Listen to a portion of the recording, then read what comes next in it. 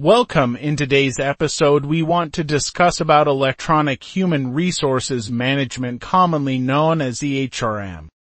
We will start by explaining what is EHRM. EHRM is the planning, implementation and application of information technology for both networking and supporting at least individual or collective actors in their shared performing of AHR activity. S.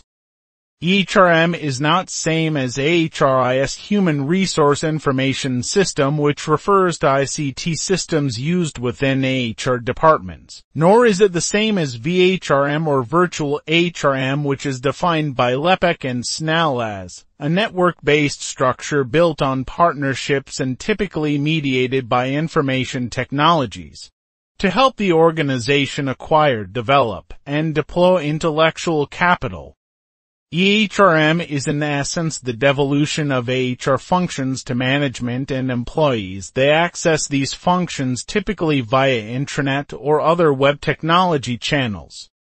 The empowerment of managers and employees through EHRM to perform certain chosen AHR functions relieves the AHR department of these tasks allowing HR staff to focus less on the operational and more on the strategic elements of HR, and allowing organizations to lower HR department staffing levels as the administrative burden is lightened.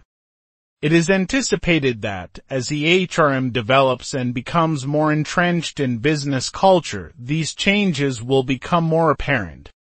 Types of ARM there are three types of EHRM. These are described respectively as operational, relational, and transformational. Operational ERM define. Operational EHRM is concerned with administrative functions, payroll and employee personal data for example.